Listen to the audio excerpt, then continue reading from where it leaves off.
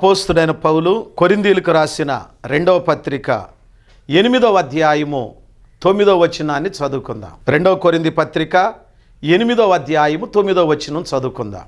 మీరు మన ప్రభు అయిన యేసుక్రీస్తు కృపను ఎరుగుదురు కదా? ఆయన ధనవంతుడయ్యుండి మీరు తన దారిద్ర్యము వలన ధనవంతులు కావలెనని మీ నిమిత్తము దరిద్రుడాయన. విన్నారా ఎంత గొప్ప మాట? మీ నిమిత్తం ఆయన దరిద్రుడయ్యాడు. శ్రీమంతుడైన దేవుడు నిన్ను శ్రీమంతుని చేయాలని నిన్ను ధనవంతుని చేయాలని నిన్ను పైకి తీసుకురావాలని సత్రములో స్థలము లేని ఒక నిరుపేదగా ఈ లోకంలో జన్మించినట్లుగా మనం చూసాం ఈరోజు రెండవ విషయాన్ని నీ కోసం యేసుక్రీస్తు దేవుడు నీ నిమిత్తం నీ కోసం దరిద్రుడైనటువంటి దేవుణ్ణి మరొక్కసారి మీ ముందు గుర్తు చేయాలని ఆశపడుతున్నాను స్నేహితులారా. మనం వింటున్న అంశము నీ కోసము దరిద్రుడైన దేవుడు. నిన్ను ధనవంతుని చేయాలని ధనవంతుడైన దేవుడు నీ కోసము దరిద్రుడయ్యాడు. రెండో విషయంగా మనం చూస్తే మొదటి రాజుల గ్రంథము ఎనిమిదవ అధ్యాయము. యేసుక్రీస్తు వారు ఈ లోకానికి పుట్టక మునుపు మానవుడిగా ఈ లోకములోనికి రానప్పుడు ఆయన ఎలాంటి వాడో తెలుసా?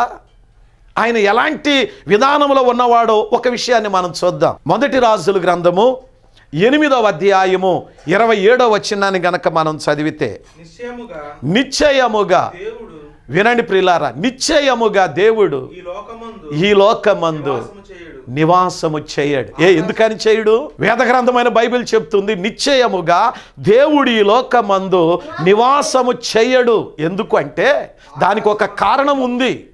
దేవుడి లోకములో ఎందుకు నివసించలేడు అంటే దానికి ఒక కారణం ఉంది. ఏంటా కారణం అంటే ఆకాశ మహాకాశములు సహితము ఆయన్ని పట్టజాలవు. ఆమె ఒకసారి గట్టిగా దేవుని స్తోత్రం చెప్దామండి. పశువుల తొట్టెలో సామాన్యుడిగా సత్రములో స్థలము లేక పశువుల్లో పశువుల తొట్టిలో పరుండిన యేసు ప్రభు అంటే ఎవరో ఈ లోకానికి తెలియట్లా. ఆయన ఈ లోకానికి మానవుడిగా మారక మునుపు సామాన్యుడిగా రిక్తునిగా ఈ లోకానికి శరీరధారిగా మారక మునుపు యేసు ప్రభు ఎంత ధనవంతుడో తెలుసా?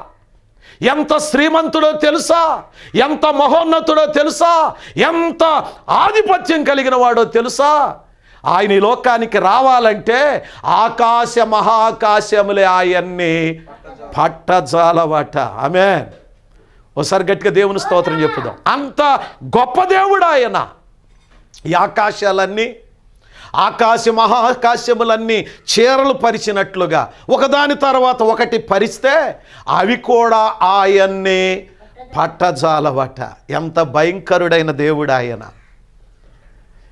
అంత దేవుణ్ణి ఈ లోకములో ఎక్కడ పెట్టగలం వస్తే ఈ లోకానికి? ఈ లోకములో ఆయన ఎలా ఉండగలుగుతాడు ఎలా వదగలుగుతాడో ఎలా వ- నివసించగలుగుతాడు ఆకాశ మహాకాశములు సైతము ఆయన్ని పట్టజాలవు. యష్యా గ్రంథములో ప్రవక్త అయినటువంటి యష్యా అరవై ఆరో అధ్యాయం మొదటి వచనములో ఈ విధంగా చెబుతూ ఉన్నాడు.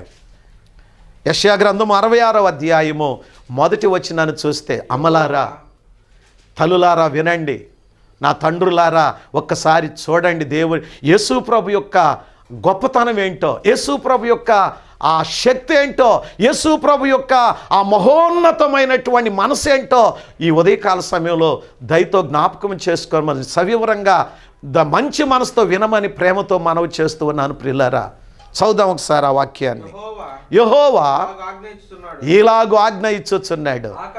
ఆకాశము చూశారండి? ఆకాశము నా సింహాసనము. భూమి నా పాదపీఠము. చెప్పండి మరి ఇప్పుడు. యేసు ప్రభు వారు మానవుడిగా ఈ లోకానికి రాక పూర్వం మానవుడిగా పుట్టక పుట్టక మునుపు యేసు ప్రభు స్థాయి ఏంటో తెలుసా? యేసు ప్రభు యొక్క పరిస్థితి ఏంటో తెలుసా? యేసు ప్రభు యొక్క ఆధిక్యత ఏంటో తెలుసా? యేసు ప్రభు యొక్క గొప్ప ఆ మహిమ ఏంటంటే ఆకాశ మహాకాశములు సైతము ఆయన్ని పట్టజాలని మహోన్నతుడైన దేవుడు. ఆకాశం ఆయన సింహాసనమట భూమి ఆయనకు పాదపీఠమట. ఆకాశం మీద కూర్చొని భూమి మీద ఆయన తన పాదములను మోపుకున్నాడు మోపాడు. నిర్గమాకాండము పద్నాలుగవ అధ్యాయంలోనికి ఒకసారి మనం వెళితే నిర్గమాకాండము పద్నాలుగవ అధ్యాయము ఇరవై ఒకటో వచనము నుండి చదువుకుందాం. మోషే చూడండి ఇక్కడ ఇస్రాయేలీలు అరణ్యములో ప్రయాణం చేస్తూ వాగ్దాన దేశానికి వెళుతున్న సమయంలో వారికి వారి ప్రయాణానికి ఎర్ర సముద్రం ఒకటి ఎదురొచ్చింది అడ్డుగా వచ్చింది. ఆ సముద్రమును దాటలేని పరిస్థితిలో అన్ని లక్షల మంది ప్రజలు వారిలో పెద్దవారు ఉన్నారు చిన్నపిల్లలు ఉన్నారు వారిలో పెద్దవారు ఉన్నారు చిన్నపిల్లలు ఉన్నారు ముసలివారు ఉన్నారు రకరకాల ప్రజలు. ఆ అరణ్య ప్రయాణములు వెళుతూ ఉండగా సముద్రం వారికి అవరోధంగా నిలబడింది. అప్పుడు దేవుని సన్నిధిలో మోషే ప్రార్థన చేస్తే దేవుడు మోషేతో చెప్పాడు. ఏమనంటే నీ కొరకు నేను ఎర్ర సముద్రాన్ని రెండు పాయలుగా మార్చబోతున్నాను. చదుదాం ఈ వాక్య భాగాన్ని. ఇరవై ఒకటో వచ్చిన మోషే సముద్రము వైపు తన చెయ్యిని చాపగా యెహోవా ఆ రాత్రి అంతయు బలమైన తూర్పు గాలి చేత సముద్రమును సముద్రమును తొలగించి దానిని అక్కడ ఉన్న సముద్రాన్నే దేవుడు తొలగించేశాడట.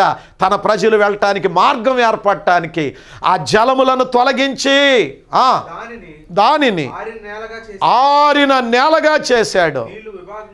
నీళ్ళు రెండు ప్రక్కల విభాగింపగా విభాగింపబడగా ఇస్రాయేలీ ఇస్రాయేలీలు సముద్రం మధ్య సముద్రం మధ్యను ఆరిన నేల మీద నడిచి వెళ్ళిపోయారు. అబ్బా దేవునికి ఒకసారి స్తోత్రం చెప్దామండి.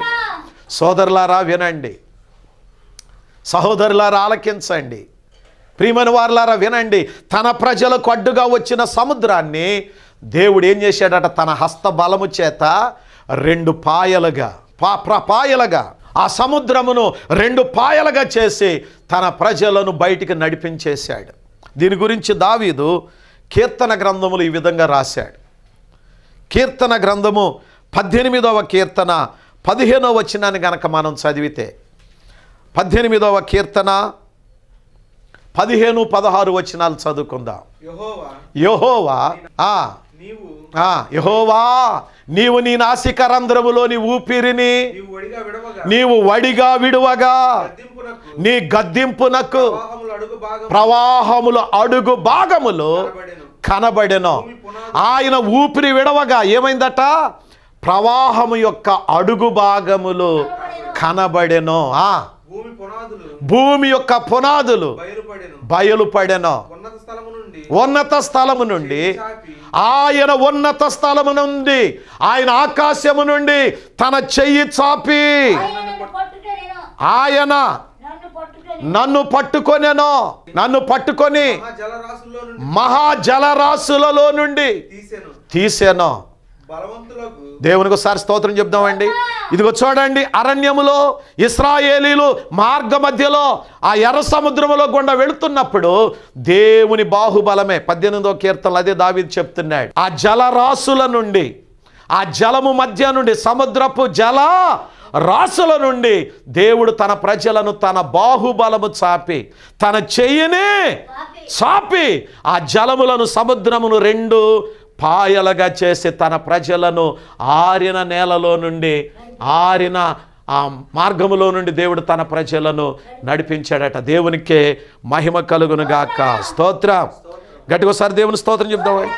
చూడండి ఎంత గొప్ప దేవుడు ఆయన. ఎంత మహిమ కలిగిన దేవుడు మీరు చూడండి. ద్వితీయోపదేశ కాండము ఏడవ అధ్యాయము ఏడవ అధ్యాయము ఇరవై ఒకటో వచ్చినములో అందుకు ఈ విధంగా రాయబడింది. నీ దేవుడైన యెహోవా నీ మధ్య ఉన్నాడు. ఆయన. ఆయన భయంకరుడైన. మహాదేవుడు. అమేన్ ఒకసారి గట్టిగా దేవుని స్తోత్రం చెప్పండి.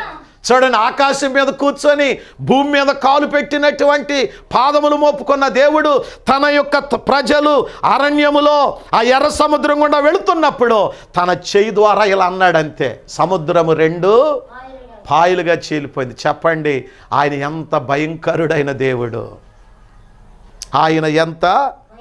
చెప్పండి భయంకరుడైన మహాదేవుడు. ఆయన చెయ్యాలంటేనే సముద్రం రెండు పాయలుగా చేల్చబడింది ప్రిలారా. అందుకని ద్వితీయోపదేశ కాండము ముప్పై రెండవ అధ్యాయములో ద్వితీయోపదేశ కాండము ముప్పై రెండవ అధ్యాయము తొమ్మిదో వచనము నుండి గనక మనం చదివితే దేవుని పిల్లలారా యహోవా వంతు ఆయన జనమే. ఆయన స్వాస్థ్య భాగము. యాకోబే.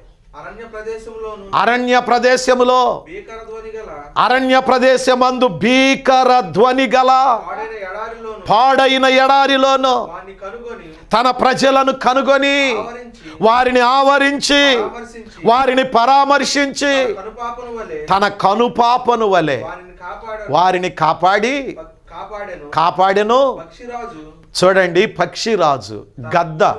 పక్షిరాజు తన గూడును రేపి తన పిల్లలపైని తన పిల్లలపైనే అల్లాడుచు రెక్కలు చాపుకొని వాటిని పట్టుకొని తన రెక్కల మీద వాటిని మోయినట్లు యెహోవా. చూడండి గద్ద గనక పక్షిరాజు ఏ విధంగా తన రెక్కల మీద తన రెక్కలను అల్లా ఆడిస్తూ తన పిల్లల్ని తన రెక్కల మీద ఒక స్థలము నుండి మరొక స్థలానికి ఎలా మోసుకొని వెళుతుందో?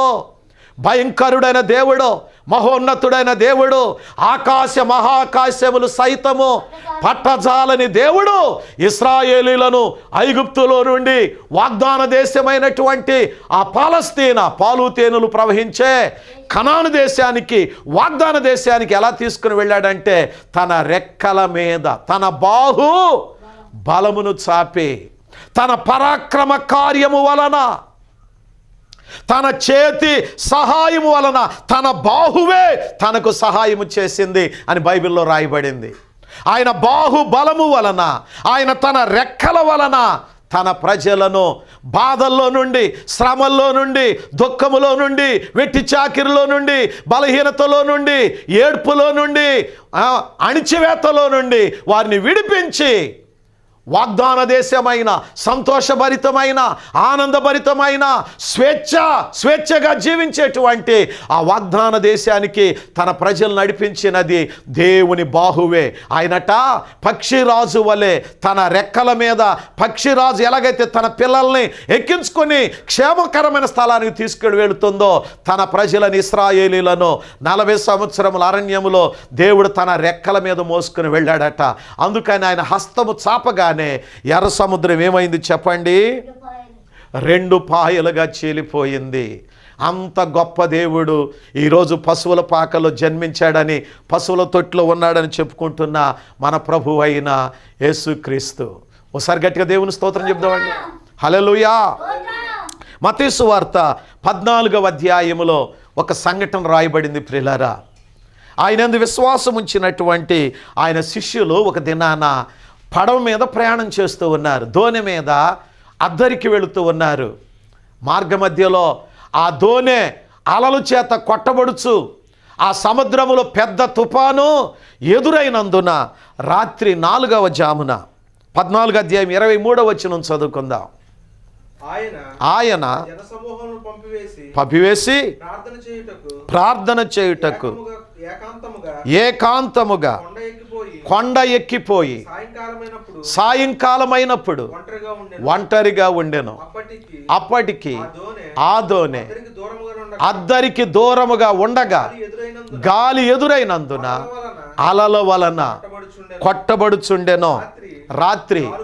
చూడండి శిష్యులు వెళుతున్న దోనె అలల చేత కొట్టబడి మునిగిపోవటానికి సిద్ధంగా ఉండగా రాత్రి నాలుగవ జామున ప్రభు అయిన యేసుక్రీస్తు సముద్రం మీద సముద్రం మీద నడుచుచు వారి యొద్దకు వచ్చాడు.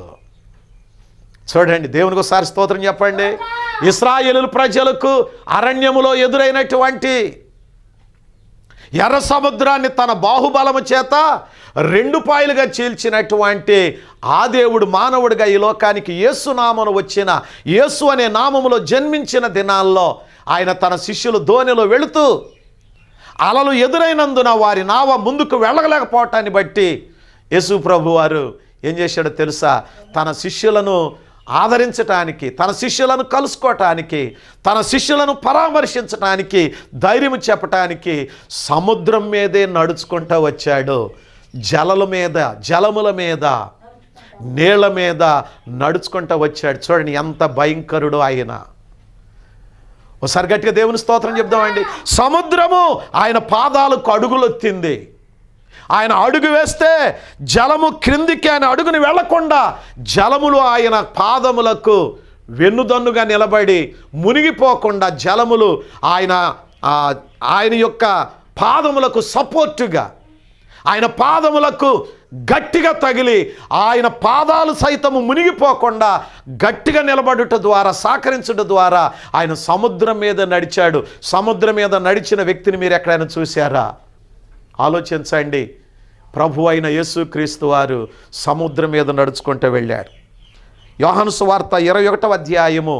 అంటే యోహాను సువార్త చివరి అధ్యాయము చివరి వచ్చినాన్ని ఇరవై ఐదవ వచ్చినాన్ని కనుక మనం చదివితే వేదగ్రంథమైన బైబిల్ ఈ విధంగా చెప్తుంది. ఏమనంటే యేసు చేసిన కార్యములు ఇంకను అనేకములు ఇంకను ఆయన మహత్కార్యములు యేసు ప్రభువారు భూమి మీద చేసిన మహత్కార్యాలు అద్భుత కార్యాలు సూచక్రియలు అద్భుతమైన శక్తిగల కార్యాలు ఇంకనూ ఈ గ్రంథములో ఈ వేద గ్రంథమైన బైబిల్లో సత్యవేదమైన ఈ బైబిల్ గ్రంథములో రాయబడకుండా ఇంకా అనేకములు ఆయన చేశాడట భూమి మీద. వాటిలో ఆయన చేసిన అన్ని కార్యాలను వివరముగా క్రమముగా ఒకదాని తర్వాత ఒకటి ఒక కార్యము తర్వాత ఒకటి వివరించి రాయాలంటే అట్లు రాయబడిన గ్రంథములకు అట్లు రాయబడిన పుస్తకములకు ఆయన చేసిన అద్భుత కార్యాలు తన ప్రజల నిమిత్తమై దేవుడు చేసిన గొప్ప కార్యాలన్నీ క్రమముగా ఒక్కొక్కటి రాయాలంటే అట్లు రాసిన గ్రంథములకు ఈ భూలోకమైనను చాలదని నాకు తోచుచున్నది. అంటే ఎన్ని కార్యాలు చేశాడో ఎన్ని అద్భుత కార్యాలు చేశాడో మీరు గమనించండి దేవుని పిల్లలారా. దేవునికి ఒకసారి స్తోత్రం చెప్దామండి. అన్ని అద్భుత కార్యాలు చేసిన ఆ భయంకరుడైన దేవుడు మహోన్నతుడైన దేవుడు ఆకాశము సింహాసనముగా భూమిని పాదపీఠముగా జలములను తన చేతులతో రహదారిగా మార్చి సముద్రం మీద నడుచుకుంటూ తన ప్రజల దగ్గరికి వెళ్ళినటువంటి ఈ భయంకరమైన దేవుడు. కీర్తనల గ్రంథము డెబ్బై ఆరవ కీర్తన ఏడో వచనాన్ని చదువుకుందాం. ఏడవ వచనం గనక మనం చదివితే నీవు దావీదంటూ ఉన్నాడు దేవా నీవు నీవే భయంకరుడవు. నీవు కోపపడితే అయ్యా నీ ప్రజల మీద నువ్వు కోపపడితే నీ ప్రజల మీద నువ్వు పగబడితే నీ ప్రజలను నువ్వు ద్వేషిస్తే నీవు కోపపడు వేళ నీ సన్నిధిని ఆయన కోపం వస్తే తట్టుకోగలిగిన వాడు ఎవడు? ఆలోచన చేయండి.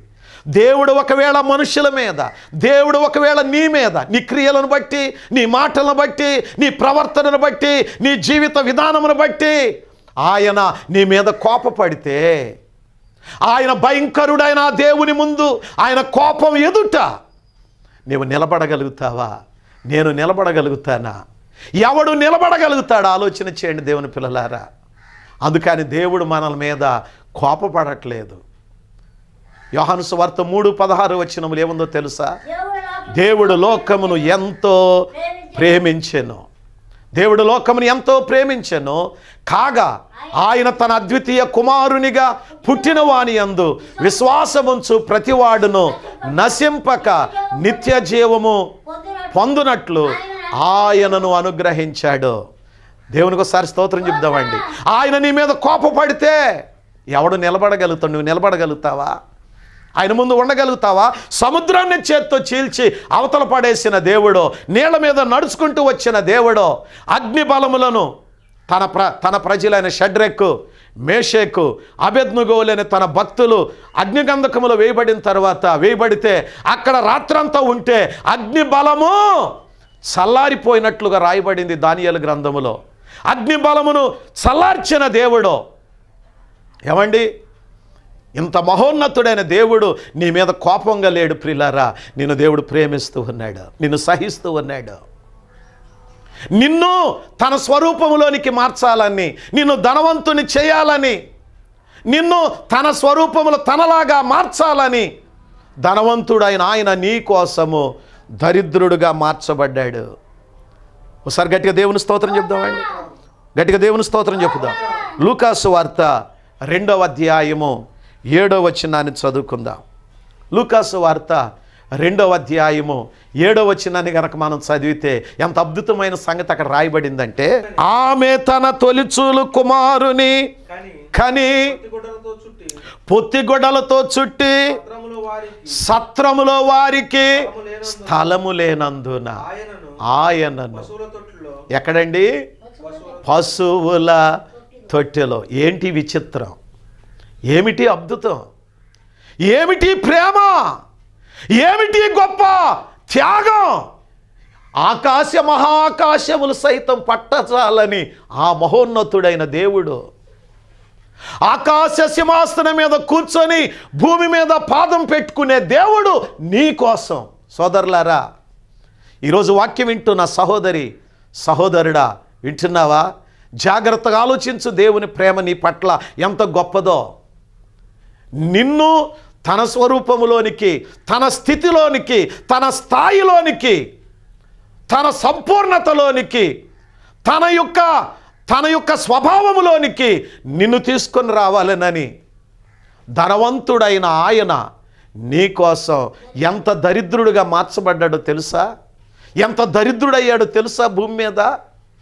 ఆ మహోన్నతుడైన దేవుడు ఆ పరమ భయంకరుడైన దేవుడు ఆ అనంత వ్యాప్తి అయినటువంటి దేవుడు సర్వవ్యాప్తి అయినటువంటి దేవుడు సర్వోన్నతుడైనటువంటి ఆ దేవుడు నీకోసం మానవుడిగా ఒక కన్య గర్భమందు ఒక దీనుడిగా ఒక మానవుడిగా రక్తమాంసములలో పాలివాడై ఈ భూమి మీద నరవతారిగా జన్మించాలని నీ కొరకు ఎంత దరిద్రుడిగా ఎంత దరిద్రుడిగా వచ్చాడో తెలుసా?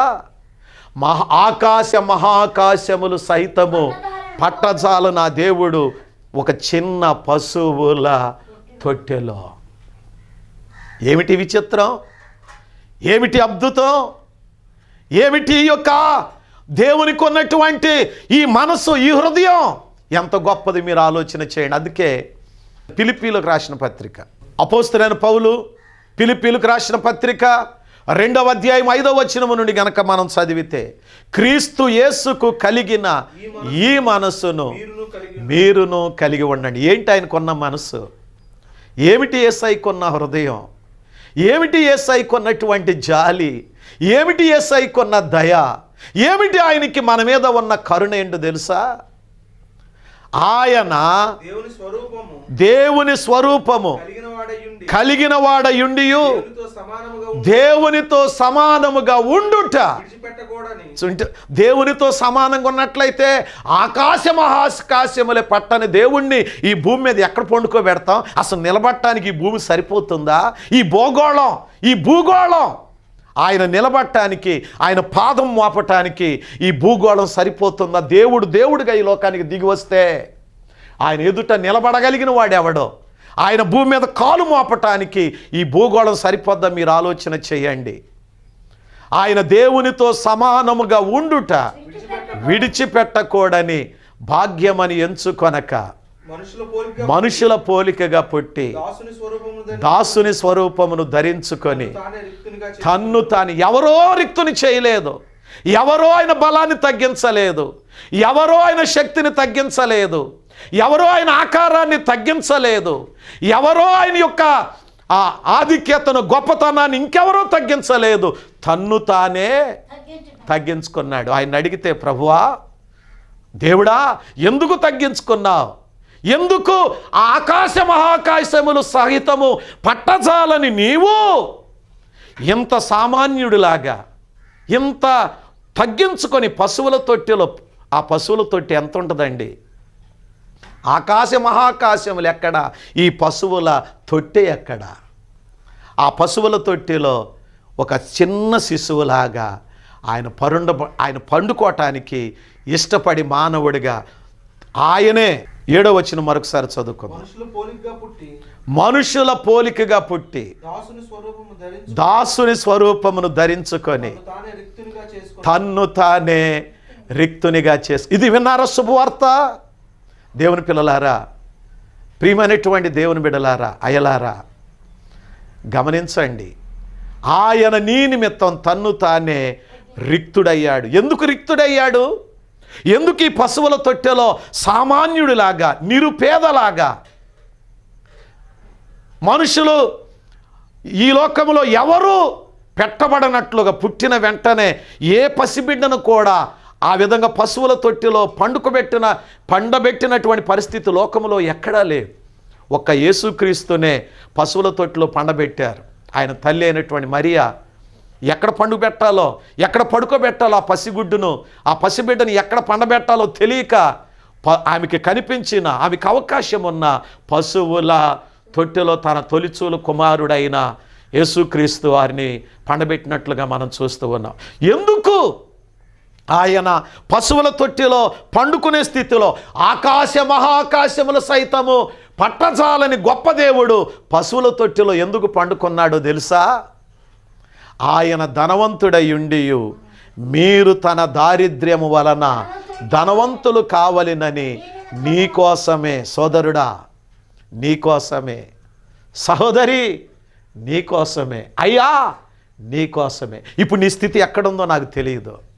నువ్వు ఏ స్థితిలో ఉన్నా ఏ స్థాయిలో ఉన్నా ఏ పరిస్థితిలో ఉన్నా నిన్ను ధనవంతుని చేయాలని నిన్ను తనతో సమానునిగా చేయాలని నిన్ను తన స్థాయిలోనికి తీసుకొని రావాలని ధనవంతుడైన ఆయన దరిద్రుడిగా లోకానికి వచ్చాడు. ఒక మాటలో చెప్పాలంటే ఆకాశ మహాకాశములు సైతము పట్టజాలని దేవుడు అతి సామాన్యుడులాగా పశువుల పాకలోని ఒక చిన్న పశువుల తొట్టెలో నీకోసం పట్టేటట్లుగా తన్ను తాను తగ్గించుకొని రిక్తునిగా చేసుకొని తను తాను రిక్తునిగా చేసుకొని ఆయన పసిబిడ్డగా ఈ లోకానికి వచ్చాడు.